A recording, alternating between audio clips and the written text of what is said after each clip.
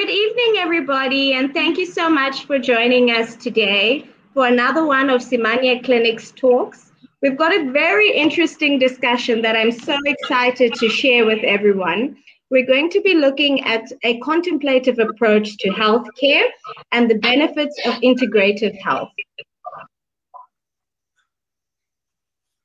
So the WHO actually defines health as a state of complete physical, mental, and social well-being, and not merely an absence of disease or infirmity. So again, key emphasis, WHO defines health or encompasses health as a synchrony within and between individuals, looking specifically at physical and mental conditions, personal experience, and one's social condition. Thus, health implies a state of interconnectedness.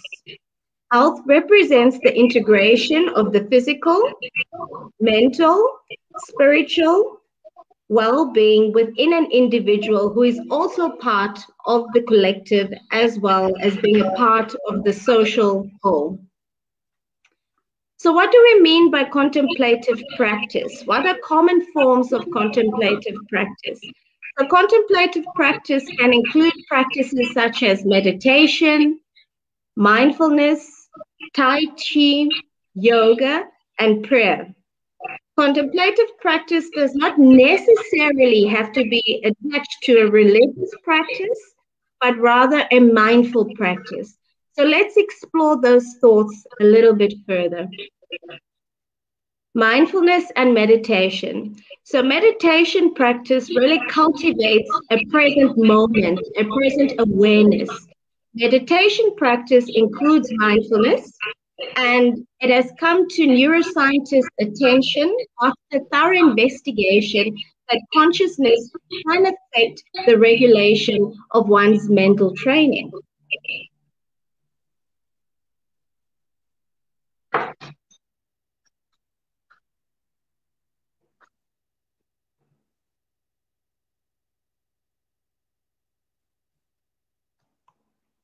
Sorry, we're just having a break in the connection. One moment.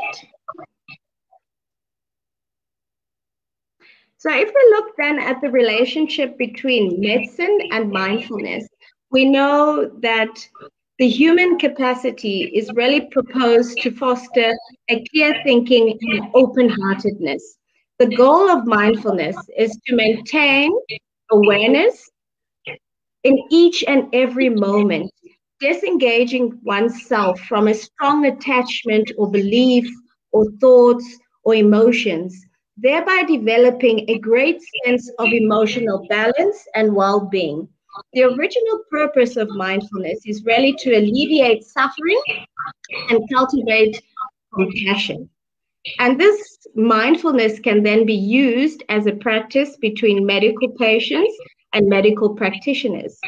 Further to this, particularly in diseases of lifestyle that are exacerbated by modifiable lifestyle factors and lifestyle modifications can constitute a primary or an auxiliary treatment for medical conditions.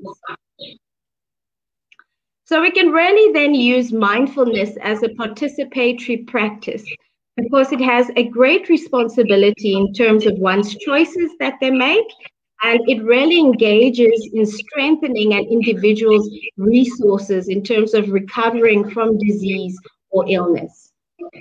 So some studies that have been done has actually reviewed the neurophysiology of mindfulness, and they've done this by looking at EEG oscillations.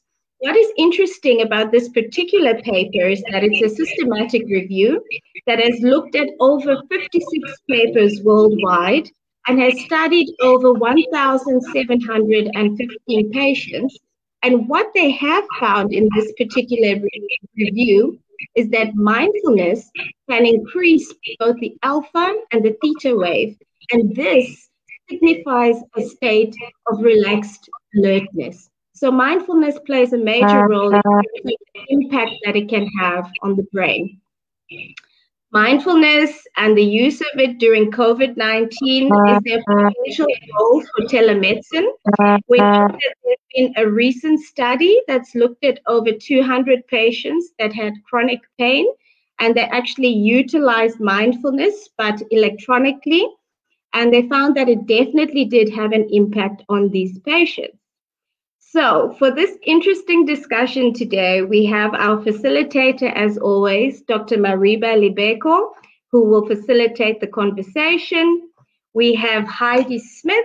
She is very well versed with contemplative practices. She is an evolved NLP practitioner, coach, and stylist. She is really interested in fulfilling her purpose. She has two decades of professional experience in retail and the manufacturing industry. He has accumulated a wealth of knowledge. And further to this, she studied clothing management at CPUT and completed a six month exchange program in Amsterdam and an internship in London. Our second speaker today is actually Nefertiti Jade.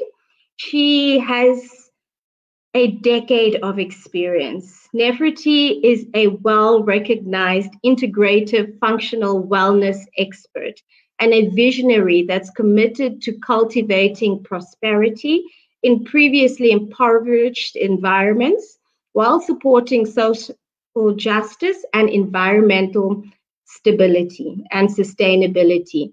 Nefertiti's on the ground work, coupled with her rich experience of life, is cultivated by her deep empathy and understanding of the social applique of the world and the historical landscape. Nefertiti is on a journey to enhance over a million women in Africa. She, she really wants to assist these women over the next five year period. Her key focus is in agriculture, art, and integrative functional wellness. Nefertiti is a leading authority in mind body medicine. She is a world renowned neuro linguistic trainer, functional wellness educator, diagnostic microscopist, an integrative nutritionist, an acupuncturist, a mind body medicine expert, a conscious leader. Thank you so much for being with us today and for being a part of this conversation. We thank you. Over to you, Nefertiti. Thank you so much, Kim, for having myself and Heidi here today to share with you guys a little bit about what we've learned over the many, many, many years of uh, studies and uh, life experience. Um, mm. I think before we get into it, what I want to do, and please forgive me, I'm just like jumping straight into it because I'm aware of the time. And what I want to do is actually get as much information across to whoever is watching or listening uh, so that you can go and research stuff for yourself and kind of understand the the the profound connection between the mind and the body and how our thoughts our our um, our um, thoughts about ourselves our thoughts about our environment our thoughts about our community how all of that has a direct impact on the body um, mm-hmm. I think we're going to go directly into meditation because that was one of the things on Kim's um, notes. Am I correct, Kim? So just before we even get into it, I want to like totally bu- bust the myth, if that's a way to say it. I want to get rid of, I want to eradicate the myth behind meditation because I mean, we've been conditioned by social media, we've been conditioned by Hollywood, we've been conditioned by cartoons. So the mm. conventional thinking around meditation is someone sitting on a mat with legs crossed in a position trying to clear their mind. It's absolutely not that. Um, it's part of that in some way, but it's much, much more than that. Um, and just so that you understand uh, how I got here and, and why I do this, I was diagnosed with shock induced diabetes when I was 21. Um, it was, um, I'm just going to be like totally brutal and out there. it was after my dad was murdered, and I had found out two months after that that my wonderful life partner was um, I don't know. I think he was just in an experimentative state, and um, he he kind of there was an infidelity, put it that way. And so, as you would imagine, as a young woman, I was like mortified. I had self-confidence issues, and then my and then with the shock of my dad's murder, I was like just in a really bad headspace. I ended up in hospital with um, depression, insomnia, shock-induced diabetes, blah blah blah. And I had this kind of weird contemplative moment, mindful moment where I looked through the window and I saw the sun streaking in and I kind of said to myself, this is totally not what life is meant to be about. You know, I feel like I'm in so much of pain uh, with everything that's going on. What can I do to just shift this? Because because really it just the, the diagnosis can't be the last diagnosis, put it that way. Um, and while mm. my wonderful life partner at the time, who was so sorry for what he had done, uh, was like just there to support me in every single way that he could. And so for the next decade, I proceeded to develop myself, become more self aware, uh, aware of how my thoughts influenced me, aware of um, how. I don't know how everything, how my conditioning, my, my my life with my family, how that influenced me, all of those things. So it was a huge journey. I was I studied with um, well, I traveled to various places um, Anthony Robbins, I'm sure everybody knows him. He's the the funny guy, you know, the tall guy with the big smile, and um, he's all about mind power, and he wants to know what drives human behavior. So I thought, okay, my Tony Robbins would be a good person to follow. So I went, um, you know, read his books, did his online programs. Eventually, decided that I wanted to go and see him um, live and attend his events. Did that, passed the mind barrier fire walked with him all of those things and it was and it was all amazing so my biggest mm. uh, learning is kind of learning of self and being contemplative in the way that we go about life in in in, in that we want to be driven by the thing inside us that fills us and that makes us happy and if we have bad thoughts, and I'm saying this in a basic way, and I know this is an academic show, and then probably lots of doctors listening or that will see it, but I want to break this down simply because I wanted to reach the communities and I wanted to reach people everywhere. The way we are feeling our thinking. Mm-hmm. Even sickness, what is health? We don't even know. I mean, health, if you think about the word health, what is health? Health is the absence of disease, right? That's how we program to understand it. Health is actually wholeness health is is is is wholeness so how do we become whole i mean there's just so much to talk about in this such a little time so with mm-hmm. that said coming back to the whole thing that i started with in terms of meditation meditation is not that thing that you go like mm, and you know chant and it's yes it's part of all of that and that will help you to to realize deeper levels of interconnectedness if that's what you how you want to label it. But i think the most important thing is being mindful in everything you do from the thing you put into your mouth that is going to nourish your body to the programs you watch on television that is going to influence your mind uh, to the way that you talk to yourself your self talk like even here's a mm. trick here's a cool cool trick right? Just to prove the whole thing. Um, if i tell you right now whatever you do don't think about a pink elephant what are you going to do? You're going to think about a pink elephant. How often do we tell each ourselves, like even when we are sick, not to be sick.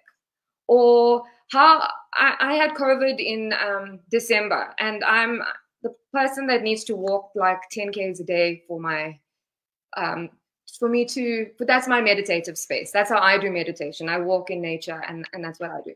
And after covid i had this long covid syndrome thing that um, where i couldn't i was just completely fatigued and all of those things. And I found myself, even with everything that I know and all the learning that I've done, I found myself one day walking and being angry with myself for not being able to go further. And and mm.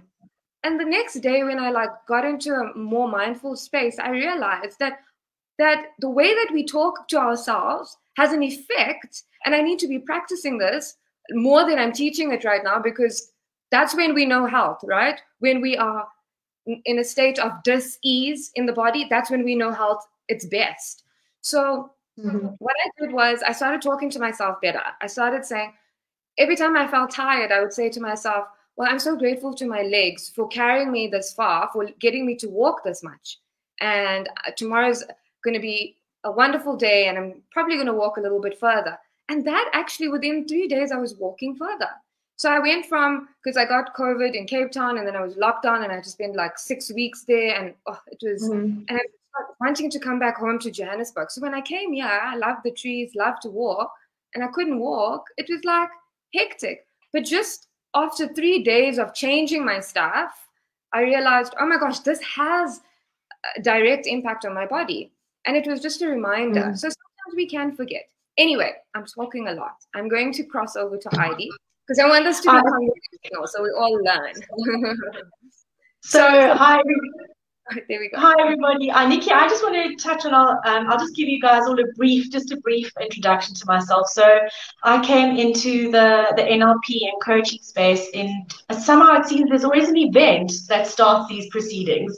So in 2017, mm. um, my partner's company went into liquidation and I had been working with Nikki previously from a health perspective um, as medical doctors weren't able to help me with um, like a problem that I had. Anyway, I went to Nikki and I worked with her. And then in after our company was liquidated, I studied NLP with Nick, Nikki, and that's how my my NLP journey and coaching journey started. So that's a, a brief, brief hmm. synopsis mm. of uh, my journey into the coaching and um, space. But Nikki, what I wanted to say is that there's a saying that goes, "What your mind thinks, your body believes." So whatever you mm. think uh, for yourself, your body's going to believe it. And what I want to, um, and Kim, you or Dr. Lamont, you touched on COVID and the effects of COVID. And I, this is a journey that I would like to share with your, your listeners or viewers. Um, obviously, last year with COVID, I it was I found it to be quite traumatic. Unfortunately, I haven't contracted COVID yet, but from a mental point of view, it affected me really, really dramatically to such an extent that I'd actually developed anxiety, which I'd never ever experienced before. Um, and as a coach, I actually had to start questioning myself in terms of where is this coming from? What is driving the anxiety? What is, and I, the one evening after the heavy lockdown, I'd come back to Cape Town to see my parents um, because my parents, uh, my, my mom, oh, my dad had just been diagnosed with diabetes, and I just needed to see that he was okay. Um, and I came back, and I could just feel my chest was like tightening, and I was like, oh no. And I actually had to sit down, and I, I said, I just coached myself, and I thought, Heidi, what is driving you to feel this? And I, after about 10, 10 minutes to 15 minutes, I actually realized that it was fear. So there's always a root cause for for what what drives of fear. But anyway, last year's process, at the beginning of this year, I had an experience where I thought to myself, I'm not, I don't have COVID. By putting myself through this whole thought process all the time, I'm experiencing it twice. So it's actually like I'm having it. Like I'm actually experiencing, mm. and there's actually the Buddhists call this the second arrow of suffering. So because in your mind you're fearful and thinking about it all the time, you actually your body really experiences all of that, even though it's actually not real because it's a perceived it's a perceived situation. It's not like you're actually going through it. So that's why mindfulness is so important mm-hmm. because it's about being mindful of your thoughts. And, and it's, as what Nikki said, it's about being mindful of how you speak to yourself, of how you speak to others, because your words have power. Um, and that's that's what integrative medicine is mm. all about. It's about being mindful. It's about for you know, there's in in some of the research I was doing, for example, in Australia and in the US, they're actually with doctors practicing as doctors, they teach them mindfulness because it actually allows mm. them to be better doctors because they're able to become more empathetic because they're able to also look after themselves. And if they can look after themselves, they're able to look after their patients in a better way. So, you know, before, you know, Western medicine and sort of integrative medicine has always been two separate spheres where the way the world is moving now, we, are starting to integrate Western medicine with integrative medicine, and they both play a part, and they they're both able to help each other and patients or clients that you're working with from either perspective. So yeah, I, think I think mindfulness is such a, a powerful powerful tool. And there's also different types of med- med- medication, meditation, um, in terms of where you get your focus meditation and your open-minded meditation. So as you kind of progress through this, there's there's different phases in terms of like exercising your body. Meditation is consciously exercising your mind in terms of how you think, how you perceive things, how you purposefully do things. And it's mm-hmm. it's what Nikki was talking about. It's it's not just about your words, but it's also about how you feed your body. Mm. What are you putting into your body? Um, so mm. it's a I have a, a, huge passion for this. Like really um, yeah. on on on Friday. I'm sorry, I'm sharing, you know, it's always easier to speak from your own perspective. And it's something that mm. I was actually speaking to Nikki about on Friday. I had to go for a biopsy because they found a, a growth on my thyroid. And um, I was quite nervous, but it's been such an amazing change in myself where before I would have been stressing all the time. But because of the conscious decision that I made at the beginning of the year that I would not experience things twice. So until something is confirmed or said, I'm not going to worry about it. Obviously, when I got to the hospital and I had to go for the procedure, the doctor's like, "Are you okay?" Explaining everything. Mm-hmm. I just said to him, "I'm actually scared. Um, you know, just tell me exactly what's going on." And then while I was doing that, obviously, I, I'm able to go into a meditative state, and I just close my eyes, and you kind of can zoom out or just focus in the moment. And mm. while mm. actually, I actually thought it was such a beautiful experience because I was thinking, what happens if other patients are taught these techniques? Who are going through procedures in hospital that where they they're able to speak to somebody before a procedure or speak to somebody when they're going through something about who can actually coach them from a mindfulness point of view. Um, it, it's such a, a beautiful integration, and this this I was all thinking about while I was lying on that that the bed, you know, having a needle stuck into my in my neck. Yeah. But um, yeah, yeah. So I think for me, if I, if I can jump in here, Heidi, and either you or Nefertiti can comment, but one of the key things that I'm picking up is that you have to learn the necessary tools to filter your reality. So you've experienced a loss, or you've experienced depression, or anxiety, or shock induced diabetes. And yes, this takes a physical strain on the body, but how do you now filter this reality so that you can utilize mindfulness so that you can sort of rebalance or reposition yourself? How do you go about that?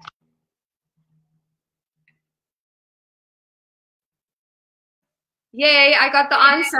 Changing lanes, Africa. That's how you do. Um, so I'm just gonna I'm just gonna put it out there. What what you need to do, you can Google, you can research. But what I've developed quite recently, um, so I've been teaching neurolinguistics to corporates for for many many years. I run trainings, but I realized that the people that need it are really not.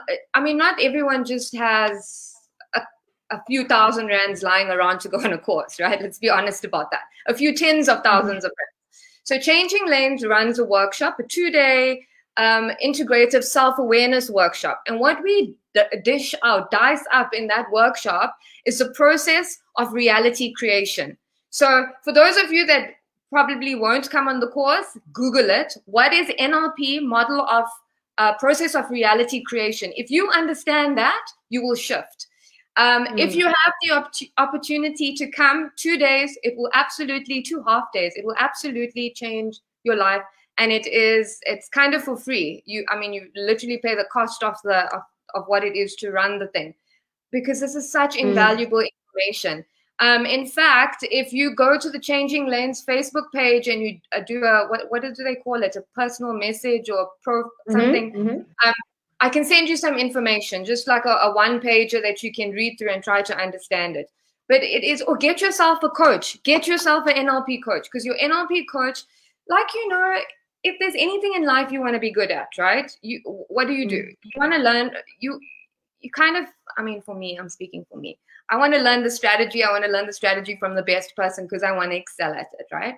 So there's lots of, there are many wonderful coaches and, and people there that that are there to support you and give you the tools that will help you understand. But for the moment, I would say the most basic and simple thing to do: go buy a book at exclusive books, or go and Google NLP um, process of reality creation. Heidi, what, what would you suggest? Yeah, that's the thing is it's about it's about finding somebody you can work with. It's about you know they they always say and when we study NLP is go to somebody who is better than you at something and learn from them. Because if you hmm. if you it's it's called the Nikki, I've forgotten performance of excellence.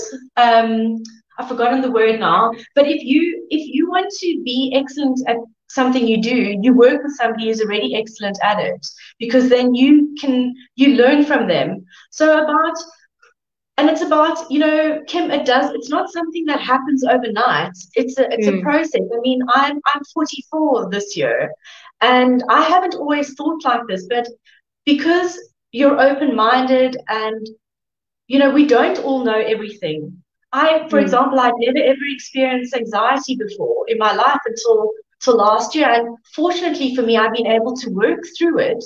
But by understanding who I am as a person, um, and I think I've only been able to do that because I'm a coach myself. So you actually have to sit down and talk hardly to yourself, like, where is this coming from? What am I doing? Why am I thinking like this?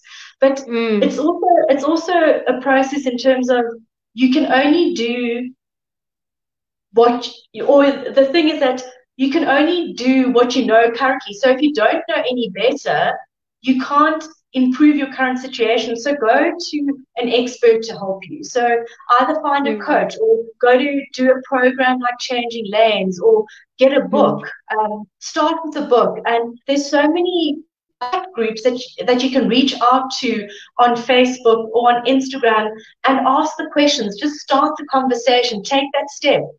It's about mm-hmm. taking that one step. It's not about climbing the whole ladder in one go, but, but mm-hmm. about being brave enough to to take that first step to self development. Um, mm-hmm. You know, and it's you know everybody you know when you're looking at something from the outside and you're seeing somebody else, it's always like oh you know it happens so quickly, but it, it's not it's not like that. It's it's really a process of self development. Mm-hmm. Get somebody to Thank help you. Yeah. Yeah. No Definitely. Thank you so much, Heidi. I think it's definitely one taking responsibility for what they think about and really processing that so that you can divert it, well, digest it and then divert it in a way that is, is best suited when it's when you're out in the world so that you can adapt quickly and that you can adapt flexibly. To Dr. Libeko, I know this is a very interesting conversation for yourself because you're very research based and medically based. So I think uh, one of the key questions that I was asked when I actually attended the Changing Lanes um, uh, NLP course is what is your purpose? So, Dr. Libeko, how do you approach that in your everyday life? What is your purpose? What are you here to do?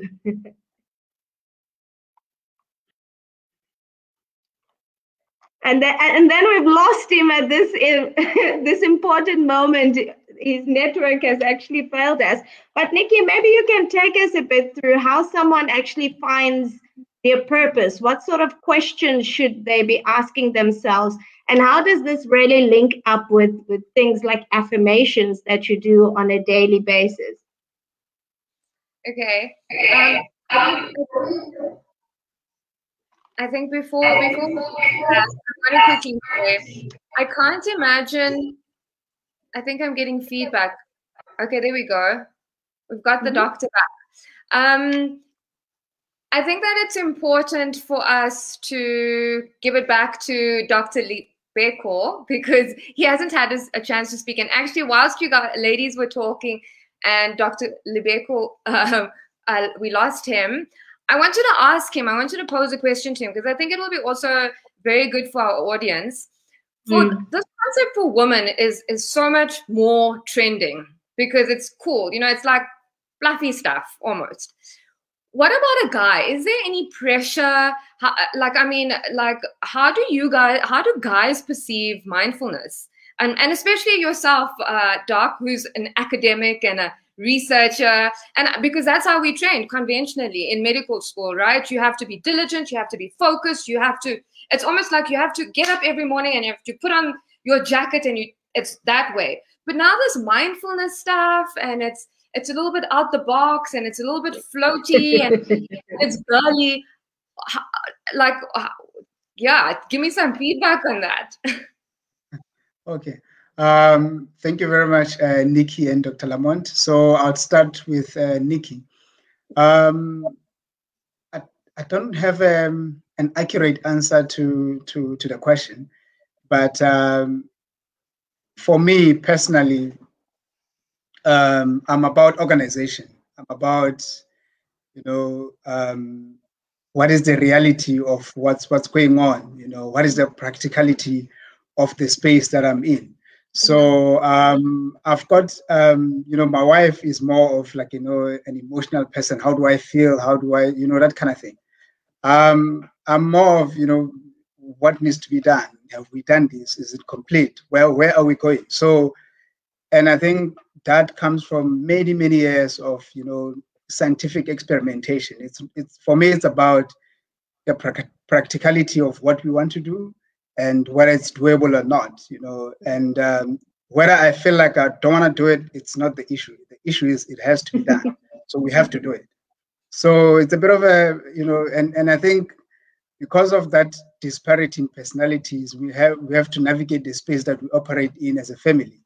And um, you know, and we need to find that balance. And I, I always try and tone down in terms of how practical things have to be and you know and you know it's it's that space. So but in a nutshell i don't think i have a proper answer to to that in terms of you know mindfulness and and and, and all that.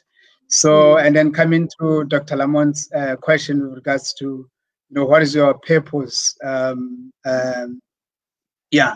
So i think for me um my purpose in in life is to touch um, lives in a very different way.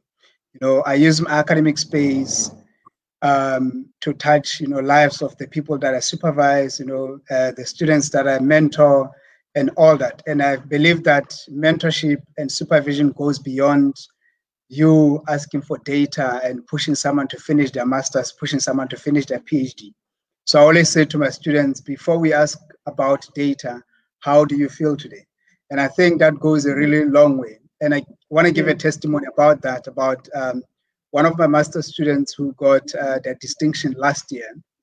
Um, in their acknowledgements, they specifically wrote like a little, you know, um, um, note in acknowledgement, and they always say they said they said it this way. I don't have like you know proper words for it, but basically what he said was, you know, thank you, Dr. Lebeko, for always coming to my desk and kneeling down and saying, How do you feel? And I think it's more of, for me, how I look at my supervision is more of, I want to serve you and I want to make sure that you get your stuff right. And I want to make sure that I put you through, you know, your master's, your PhD, your honors. And mm-hmm. in that way, that for me is service to the people that I'm around, you know. And I believe that I don't have um, I'm not a person who's a very a highly social person. So I believe in touching lives individually. So that's why I use the spaces uh, like in supervision and in close friendships to touch people's lives and to go all out for you know whether it's my mm. friends, whether it's my my peers and all that. So that's how I see my purpose in life. You know, and one thing that I tell myself uh, is any space that I'm at, whether it's an institution and I'm a postdoctoral fellow or whether it's a company and I'm employed in that space, or whether it's a lab and I'm a student, when I leave that place, people should not say anything negative about me, but they should always mm. remember me for being a humble person who is, who's always willing to help. And I think that's the purpose for me. And I, thus far, I've really got that right. And uh, yeah, that's basically that. That's absolutely um, beautiful, Ribs. Wow, that's amazing. Over to you, Nikki. I'm so excited. Uh, Dr. Lebeko, you have to you have to do the Changing Lanes workshop. It is you're gonna love it. It is so so so beautiful. It's such an you know, it's it, you, so often we get onto these uh, what webinars and streams, and we don't really get to know each person individually. So I think mm. the golden thread here um, and uh, is that every single one of us on this panel um, have a similar purpose. And coming back to your question, Kim, that you asked me before, I quickly diverted back to Dr. Lebeko, uh, was how do we discover what our purpose is? And I think mm. that thing is that it's innate. You just know. You know the thing that sets your soul alight. You know the thing that gives you joy. And um, like for me, it's also touching people's lives. It's sharing this information. I know that I've been so blessed to be able to travel and to learn and to acquire all these skills. And there's so many people out there that just have not had that opportunity. And I mm. want to, and and you know, so for me, it's like giving information, helping people, unlocking them, and you know, getting them to mm. realize, hey, you know what, we are programmed human beings. We we receive mm. billion of information per second, which we delete, distort, mm. and filter down to a few thousand bits, and we just like there's so much stuff to know. Um, but yeah, I think that you know your purpose. Uh, uh, the way that I do it, I actually have a technique that I teach students uh, because you know very often, and especially when they uh, studying or, or, or, making a huge life shift or life change. Like, for example, Heidi, uh, very successful in the fashion industry. And then um, um, some stuff happened and she, you know, and she's think like, a, sorry, Heidi, I'm just sharing your, your story here. But that was a profound time in her life where she needed to sit back and say, like, okay, like, like, what is my purpose? Like, like, like, mm. where am I? What am I, what am I doing? What am I grateful for? So mm. I call it the questions. And I don't ask it so that my mind, because our mind can, our self talk can quickly pull up things. Remember, we are programmed from birth. We are programmed. Mm-hmm. I, I, always use this analogy, and please forgive me, all the Indian people out there, but I always say I grew up in an Indian home. So if I, I mean, I'm now developing a whole artistic side to me. But back in the day, that was nothing you could say. You had to become a doctor, a lawyer, or uh, an accountant because that's what needed to happen. Uh, mm. Why? Because that's just how it was. Now, at 35 years old, I've now kind of tapping into my whole art um, talent, or I don't know, whatever you want to call it, and and it's and it's so exciting. So I think we're mm. consistently mm. discovering what our purpose is. But I think the mm. great purpose for everybody is service to humanity serving each other. If you know, there's a golden thread between science and I know this is a touchy subject, but religion too. And and in in every great person, whether it was Chris Barnard and his heart surgery, or whether it was mm-hmm. uh, uh, Buddha that taught the people to meditate, or Jesus that that just was amazing. Whatever mm-hmm. it was, it was always people that were of service that we look yeah. towards, that we want to be mm. like, like Nelson mm. Mandela, a cause beyond himself. So I think that that is a, that is a, a golden thread that that goes through through humanity. Because even just if your purpose is to be a mother, you are in service. You are mm. raising a soul. If your purpose is to be a teacher, you are in service. If your purpose mm. is to mm. be a cashier, you are in service. Mm-hmm. Whatever mm-hmm. you are in service. So we have to do it with empathy, with love, with mindfulness in a contemplative fashion, because that is what brings about wholeness. Coming back to what I said mm. earlier, uh, you know, health is looked upon like when we say, okay, what does health mean to you? The, the, the, unconscious conditioning immediately goes back to health is the absence of disease. No, health is mm. wholeness. Mm. And when mm-hmm. and when and when we feed ourselves mindfully, when we feed our mind, our body, our, our environment mindfully, it, it's, it's just such a beautiful dance. I want to be a little bit scientific because I like that too. I am actually left brain by all the tests, but I'm now developing. um, um, what was I going to say? Okay, so um, let's take, for example, um, okay, let me just rather tell you because for me to explain it's going to take time. Go and Google Dr. Bruce Lipton. Um, he is he worked on the Human Genome Project. He has pioneered um, a, a, little movement or a little bit, uh, um, I don't know, whatever you want to call it. He writes a book called The Biology of Beliefs. You can probably download his YouTube uh, but every single cell in your body has memory. Um, mm. And in you know he he stumbled upon that fact or he he he had a shift he had a spiritual awakening if you want to call it that when he discovered in a lab that previously people thought that the nucleus controlled the cell and he realized that the cell wall actually influenced the nucleus. Am i saying it right dr kim? You like should know yeah, yeah no you, you are you are. That was that was like profound. Why? Because our environment has a direct influence on us on our mm. health. It's not mm. it's not just oh if you've got sorry someone's shooting out and i didn't close the door it, doesn't just matter if you're if you've got diabetes in your family you're going to get it no if your mm. mother had cancer you're going to get it no no you you're in you can be mindful you can yes maybe you're predisposed so you can take precautions but it's mm-hmm. what you feed yourself ultimately determines your reality. Um, I know mm.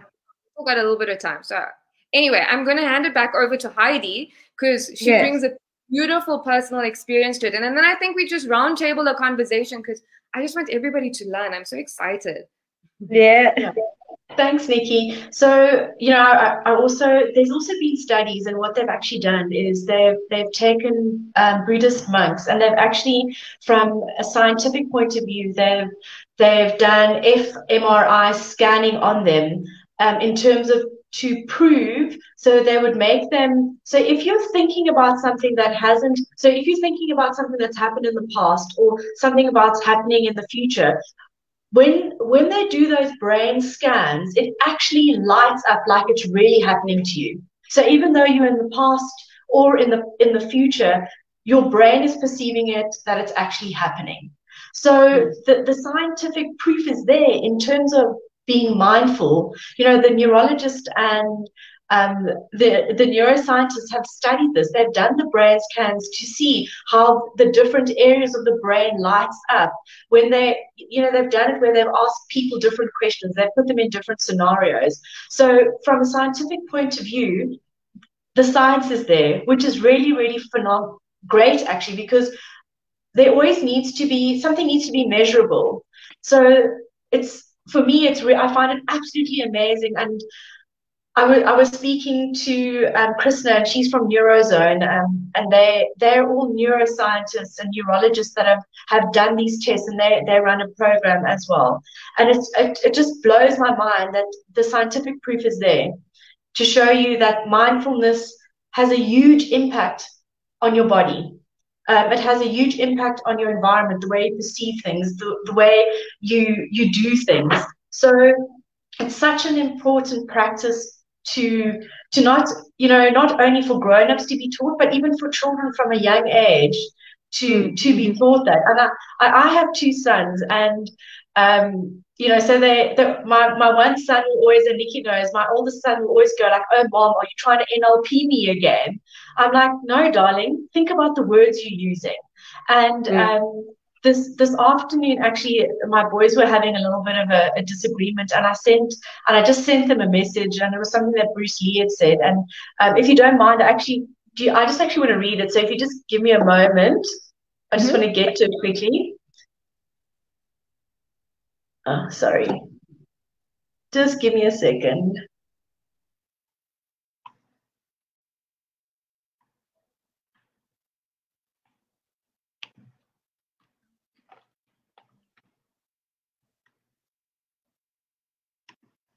uh, And Nikki's actually muted at the moment. I can't unmute her. Here we go.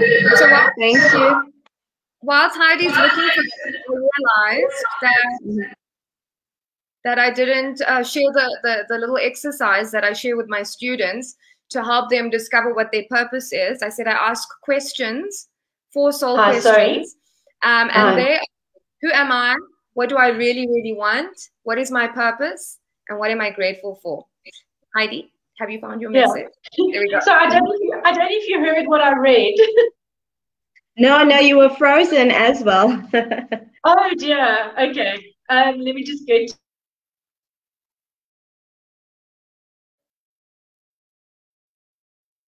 Sure. I think the network is really bad because of the load shedding. But what I really like that you've spoken about now, um, Nikki, is what am I grateful for? I know when you went through COVID 19, we chatted throughout, and you actually told me that one of the things that got you through that moment was having a gratitude journal. So instead of looking at the negative things that were happening to you at the time, to rather be grateful for the smaller things that you were appreciating, like being able to walk one kilometer rather than 10 kilometers like you could before. So, can you also just discuss with us the element of gratefulness and gratitude and how that really can reprogram the mind to a certain extent? Heidi, we, we lost. Yeah, I think the connection is a bit interrupted. I know she did say she's having load shedding soon, so our network today is not so good for everyone. so, coming to your question, to answer your question, Kim, um, gratitude actually, there's now a scientific um, test, and I think I'm speaking under correction, but I think that it became available or was developed through the University of San Diego. I'm, I'm not quite 100% sure about it. I've heard these facts probably in 2013, so I have to re reference it. When you are in a state of gratitude, the vibrational frequency of your body changes such that it creates an environment where, okay, maybe this is going to sound a little bit too esoteric. Have you ever witnessed miraculous healing? in that in that moment when miraculous he, I, have witnessed it a lot i mean um, I, I, I don't like to bring religion into it but i'm just going to go out there I, I grew up in a christian home so we were at church all the time and and i witnessed it there. And then in my my studies i've also witnessed um, chant healing um, energy healing sound vibrational healing. And there's no there's you know it's almost like a phenomena. People don't know like how this is happening. The the specific one that i want to um, refer to is being in a state of gratitude. When you are in a state of gratitude you relinquish the limiting belief that says you do not have whether it is you're not having health whether it is you're not having money whether you're not having mm-hmm. peace of mind whether you're not having a harmonious relationship with your partner, whatever it is, in that moment, when you start to think about what you are grateful for, you automatically change your vibrational frequency. Now, that mm. might be a bit too esoteric for some people, but this is a fact. If you go and Google, it's Googleable. That's my new word. I've invented it. it's Googleable. You can go and you can you can Google what are we made of? We're made of atoms. What what is what is an atom? you know so ideally that you know if you do enough research and you if you break down those limiting beliefs that you have had in the past and you focus on you know the things that are going good in your life and you start holding on to them it, it changes your mindset it's like me going from oh my gosh i can't believe that i can't i haven't walked in like a month and you know i'm feeling so tired because mm-hmm. i'm not getting exercise to just shifting that belief and saying, I'm so grateful that I could walk a kilometer today. I am so, what are the things I'm grateful for today? And, and yes, COVID, like I said the, earlier, we know health best when we are not feeling whole, when there's mm-hmm. an absence of. And for me, that was um, because I mean I'm generally very healthy and, and all of these things, but I've been traveling between Cape Town and Johannesburg a lot. So I think I was just exposed and my immune system was was was challenged because it, it will affect you if your immune system is challenged and i knew exactly why my mm-hmm. immune system was so coming back to the whole contemplative mindfulness self-awareness. And then slipping back into gratitude. Gratitude it's all part of the same whole. When you are mm. self-aware you are definitely more gra- grateful.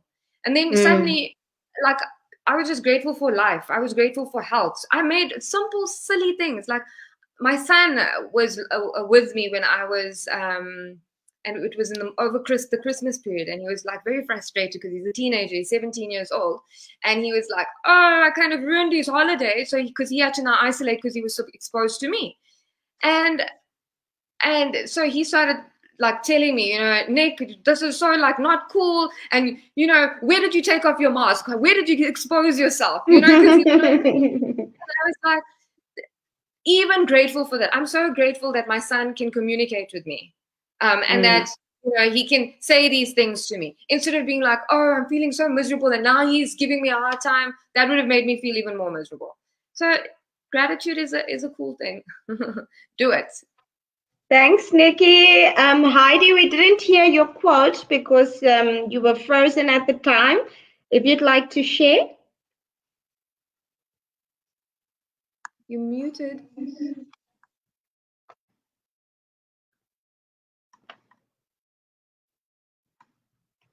And I'm unable to mute her from unmute her from this end, unfortunately. Okay, I, uh, okay. Uh, yeah. Yes, we can hear you.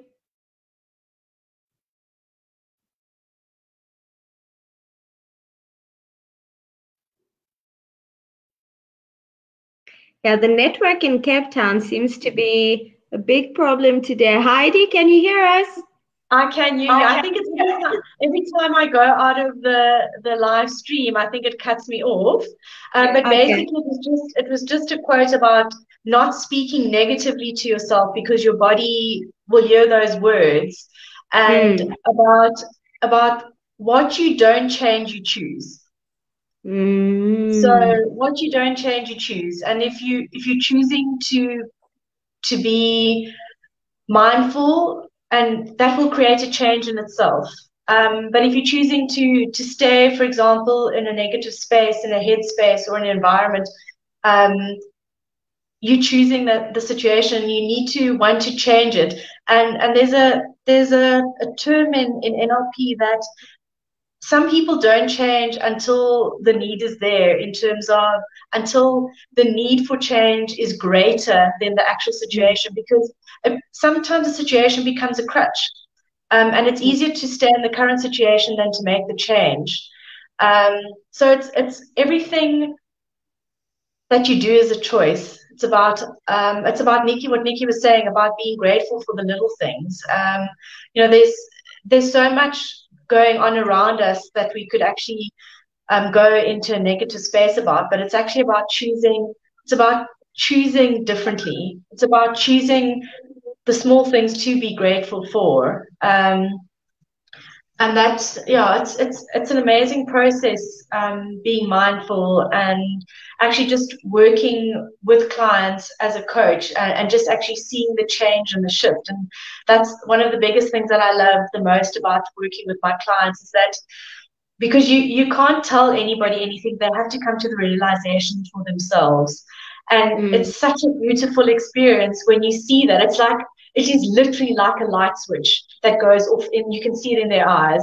And it's like that aha moment and you're like yay! And, and you just you physically see that change. And and you know there's so some of my clients and when i you know they, they'll post things and or they'll send me messages. And and when you when you, if you think about the state they were in when they first came to you and the process of working through them because we're only there as a guide the person that you work with, they do the work. So you're there as a guide to help them through their process.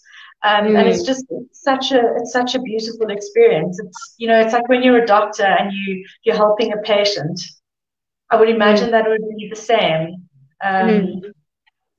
So, hundred percent, absolutely, Heidi. I think one of the key things that I'm also picking up from you is self-talk.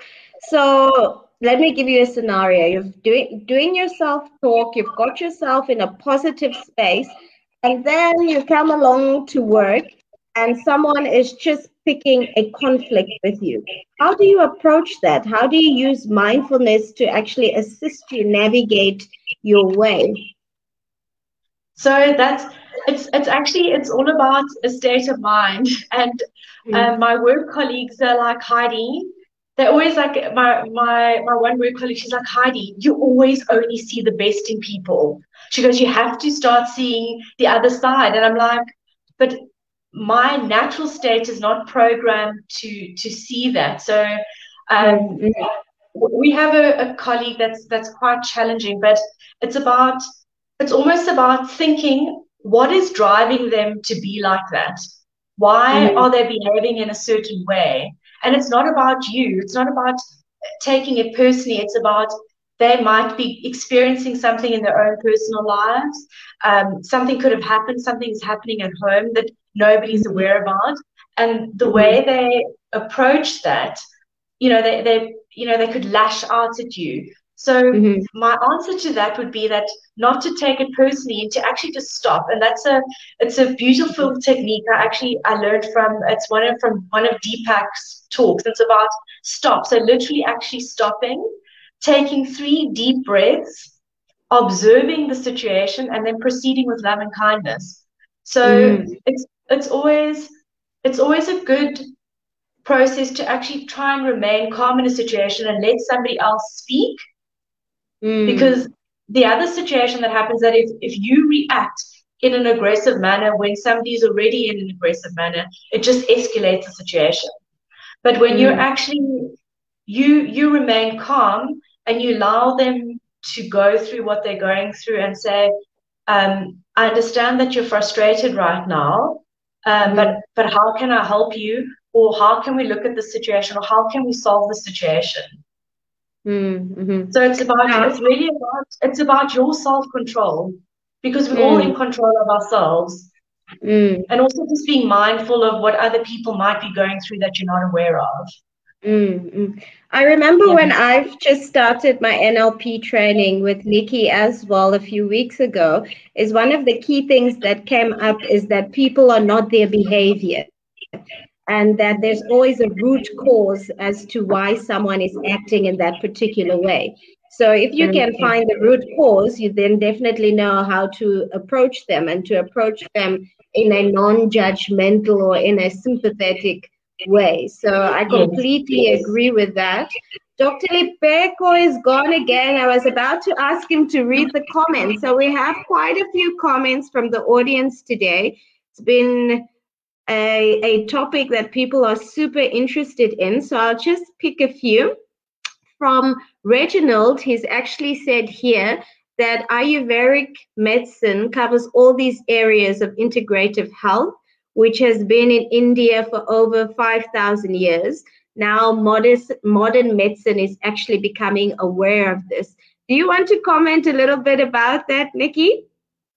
Yeah, sure. So I'm very uh, privileged to um, uh, study some Ayurvedic uh, self care and medicine at the uh, Chopra University in San Diego. Mm. Chopra, everybody knows him. He's very famous for bringing from India all of the, the, the gold in terms of these ancient um, methods of um, just being. Contemplative practices if you want to call that. We label it now in this modern developed world as that. There in, in, in india in terms of ayurvedic principles it's self-care. And yes i agree with reginald it's one he's 100% correct. And that's why i did mention earlier on in my in my um, uh, in this webinar sorry i mentioned that there's a golden thread that runs through this whole for example, uh, Buddhism, which is not a religion, it's actually a lifestyle. Um, um, Ayurvedic uh, uh, principles. It's also it's not a religion. It's a it's a it's a practice of lifestyle. Uh, yoga is not uh, to be super skinny mm-hmm. and sexy stuff like that. It's actually an investment in your longevity. It gives you long life. Um, massaging your feet and your body, showering with uh, changing the water from hot to cold and giving your body a sensory experiences. Remember, I said every single cell in our body has memory. When we mm-hmm. enhance these processes through self care, through, for example, Ayurvedic pr- principles or contemplative practices, like we're making it known now in the modern world, we are switching on or activating ourselves with love and kindness. Mm. You know, even just a mindful walk in nature is giving yourself time to commune with creation, that of which you are. So, you know, it, it all interlinks and ties in. So, yes, definitely Google Ayurvedic self care principles. There's a lot of science in it. Um, mm. That, uh, you know, America was very uh, blown away by. So, they've, they've, they've done mm. a lot of mm-hmm. scientific research on, on Indian practices. It's very cool. Yes. Let me catch Heidi here before she goes into load shedding. Uh, so there's a statement made from Valia. She says, when the student is ready, the mentor or coach will appear. It's about taking that step on self responsibility with love. Any comments there? I, I absolutely love that. And that is so, so true. You know, some, some people call that coincidence, but things always happen when they're meant to. And I completely agree with her statement in terms of that when the student is ready, the mentor will appear. I just I find that so beautiful. It really, really resonates with me.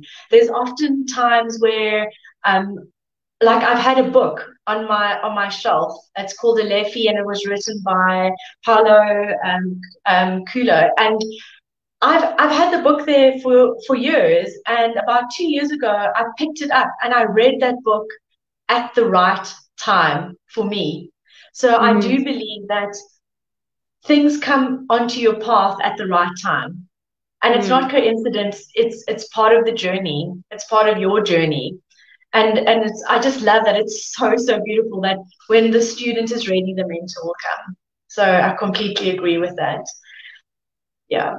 So in case I, I go on to load shedding, I just want to say thank you. Thank you so very, very much for allowing me to be part of this discussion. It's something that I'm really, really passionate about. Um, so we can carry on until, like, in case I just disappear, I haven't just left.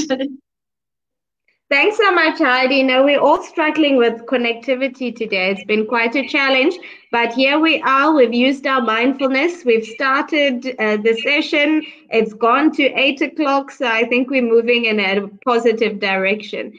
There's another question from the comments as well, where Jay has actually stated, and I think Nikki was speaking about this, feeling down versus feeling high, a shift of vibrational frequency. So, how do you change your vibration? Well, how do you how do you change your state? You change your state by being aware of your thoughts. So if you're super high and if it's obviously not externally induced, what is what is it specifically that is causing that high? Is it a thought? Is it a sensation? Is it a feeling? Um, mm-hmm. If you are low, and it's not externally induced. Again externally induced by circumstance or whatever. How is what you're thinking influencing you? Because what you think can change your vibration. If you are mm. thinking high vibrational thoughts you're going to be in a high vibrational frequency. If you're thinking i mean we can just do a little exercise with the audience right now. If i tell you at this very given moment think about a time in your life that you were just so excited. You were so excited that you just wanted to jump out of wherever you are and shout to the world about something that ex- was exciting that was happening. And if you think about it, you will start to experience that excitement. And if I were to tell you to think about something that, you know, think about your most embarrassing moments, you could go there and you could actually start to feel that. You could, you might even have a visceral response and you, a, a sensory experience, and you could see yourself blushing if you were standing in front mm-hmm. of the mirror. Mm-hmm. So you yes, high versus low. Um, I recently, well, not recently, it's about two years ago now. I went on this uh, ten day silent meditation, a silent retreat, and you get there, and it's like uh, guys stay in one place and women you don't see each other, and you're all covered up. It's like a monastery. It was beautiful. You it, in a simple setting. You don't talk, you can't write, you can't do anything. You're just in silence and you're meditating for 10 and a half hours a day. And the whole point of that um, is just I'm going to pause it there for a second and go back to meditation. Remember, I told you meditation in the conventional terms is like, oh, you know, not thinking. Mm. No, no, no. It's allowing the thoughts to flow and not judging it. Because only your judgment of it creates a visceral response. If you do not judge it, you remain neutral.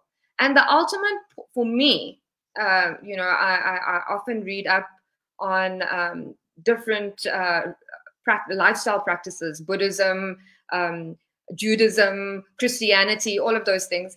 And and for me, the ultimate point of of no, I wouldn't say enlightenment, I'd say peace, bliss, balance is being neutral. Is being in a state of neutral, not looking at something and saying, I want more than this or I want less than this, but just being happy with where you're at. And it's not because we're mm-hmm. programmed mm-hmm. into because we are sold what works because we are told that we need to be skinny to be beautiful, because we are told that we need to drive the fanciest car to make an impression, or I don't know, whatever the case is, whatever, whatever society, because that's what we conditioned. I mean, uh, Sleeping Beauty um, was rescued by a prince, and he took her off into on a horse into a castle. So what you know, so we programmed all the time in terms of what to expect. But when we have no expectation, we can have a desire. But when we have no expectation, we're in a state of neutral.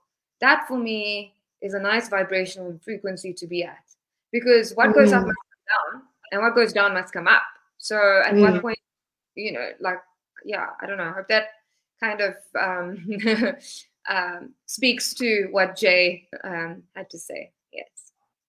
Thanks so much, Nikki. One of the things that you also taught me while we were doing our NLP practices is that you need to calibrate your behavior. So you can't be incongruent. You have to have your behavior being congruent with your thoughts. And I think this also really makes sense from a medical setting that you have to pick better choices, better choices in terms of what you eat, better choices in terms of moving around so that you actually feel better throughout the day. So, one of the comments that have been made today from Valia as well is that willingness is key. Heidi, do you want to comment on that? Yeah, sure. It's about it's what I what I spoke about previously. It's that the change comes from within. And if you're willing to to make the change, um, it will happen. And it's also, I was speaking to a friend um, many many years ago, and she she said to me, and, and this was about actually about losing weight or about anything. It all starts in your mind. So until you your mind shifts, there and the willingness is there to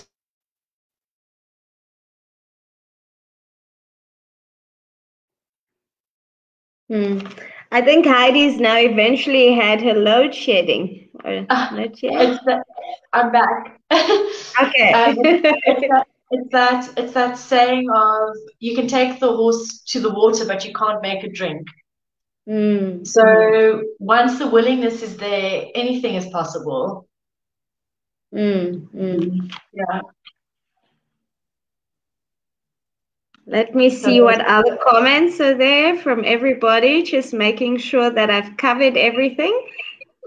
One other comment that was made, and I think this was for Dr. Lebeko, but he's not on anymore, is that yes, in service, you have to be in service to yourself, but in service to humanity as well which is one of the threads that we've all discussed thus far um, this evening, actually. I think in the profiles that I read for both Nikki as well as Heidi, is that you want to touch lives in any way that you can. And you want to improve other people's lives for the betterment, not just of yourself, but for others as well. So that's absolutely beautiful. I will read one more comment and then we'll start to wrap things up. Uh, Valia has also said that weight is an unnecessary baggage that we carry for ourselves and others or, or others. Any comments, ladies, in terms of, of carrying that baggage? I know we all sometimes have self uh, problems with self image and uh, how we look and how much we weigh, particularly the ladies. So this is the point that Valia has actually made that this sometimes is an extra added baggage. So how can we shift the way people think about themselves and view themselves? Okay, I think I'm going to jump in there. So um, yes, I totally agree with Valia. It, you know, I think when you become more self-aware and you become more grateful for all that you are, you automatically change the relationship you have with self. And mm. food, because it's an external, it, you know, when you consume food, it, there, there are chemical processes that start to occur in the body because of the digestive process and based on what's in the food and how your body reacts to the food. So you can get a high from eating. And sometimes people self medicate, they, they, they, they, for lack of a better word, I'm going to say medicate with food. They, they try to make themselves feel better with food. And and and that's not a bad thing but if they can be self-aware and that they can and and they can identify that then they can change that. Again coming back to the willingness to to uh, the self-awareness and all of those things. Um, so yeah, I hope that that answered that. I, I would also just like to make a comment there, and um, yeah, it's a it's a very it's a very heavy bag that they're carrying around um, because it's you know weight and the way we look it's it's so socially pushed. It's in your face all the time. Instagram facebook um, netflix um, movies you know? So for some people it's really really is um, you know it's it's really challenging for them. And the shift doesn't happen that quickly because it's actually it's a complete mindset change that has to occur for them because once the mindset changes they then also view themselves differently.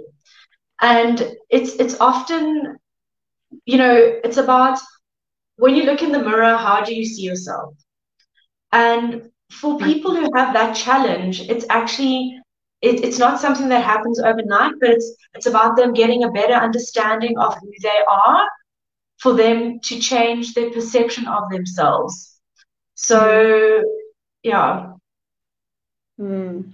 So there comes back to again self-talk, communicating with yourself, appreciating yourself, not judging yourself, which makes it easier then for you not to judge others as well. So it ties it back into what the conversation was about this entire evening. So thank you so much for that, ladies. I don't know if there's any closing remarks from Nefertiti, followed by Heidi, before we close the evening tonight. Well, thank you everybody for taking the time to listen. I hope that we served in some way to switch on a light or plant a seed or just intrigue you um, in some way or the other. Um, and yeah, I think that um, mindfulness is, is, is something that should be taught in schools. It is critical to wholeness.